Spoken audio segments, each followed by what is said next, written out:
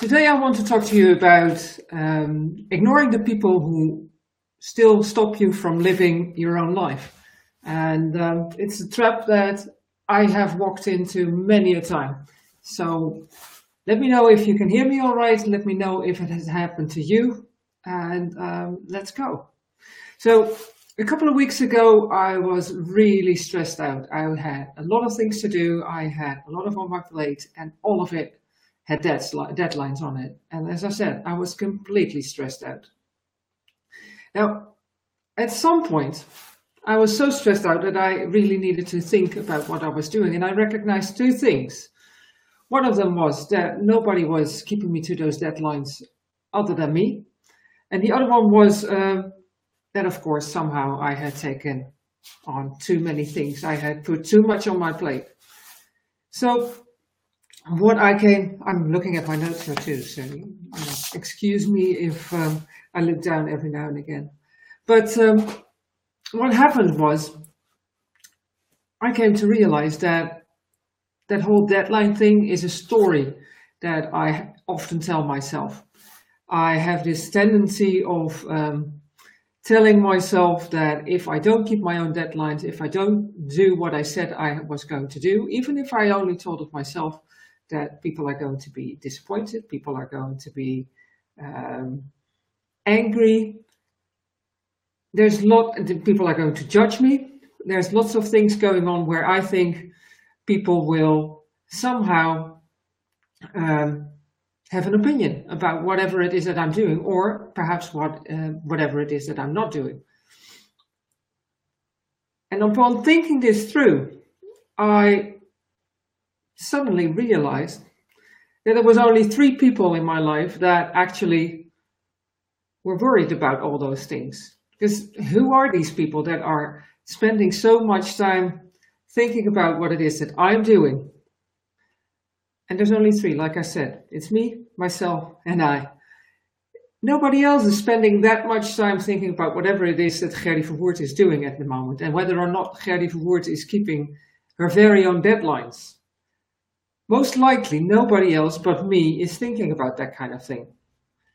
So if I'm the one telling myself that story about keeping deadlines and judging myself about whether or not I'm keeping them, then it comes to follow that I can change that story, that I can tell myself a different story. And if I can tell myself a different story, I can also act differently because it's the story that I'm telling myself that has me acting in a certain way.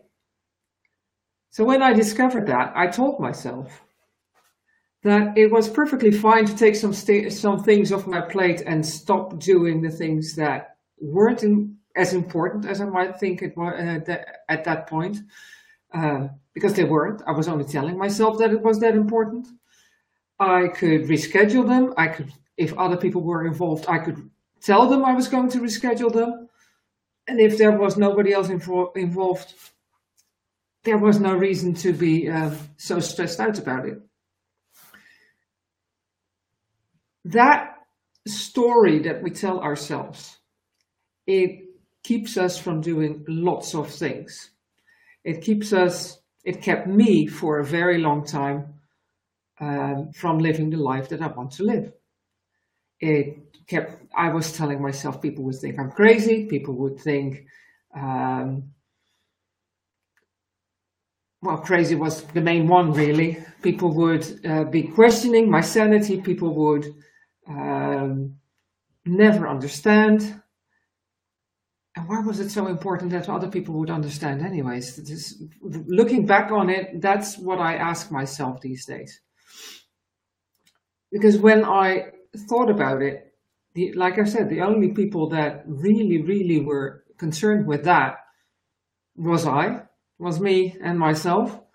And those that perhaps were also spending some time thinking on uh, thinking on that, the only thing they wanted from me was me to be happy, preferably in uh, you know in in circumstances that were good, but definitely they wanted me to be happy. And if those circumstances were going to be different from the circumstances I was in at the moment, then that's what was going to happen. That was that was what was going to be. So I have an important question for you, and that is, what is the story you tell yourself that keeps you from living the uh, living your life the way you want to live it, instead of the life that others want you to live? because they should be committed to living their own lives and not to telling you, to dictating you how you have to live yours.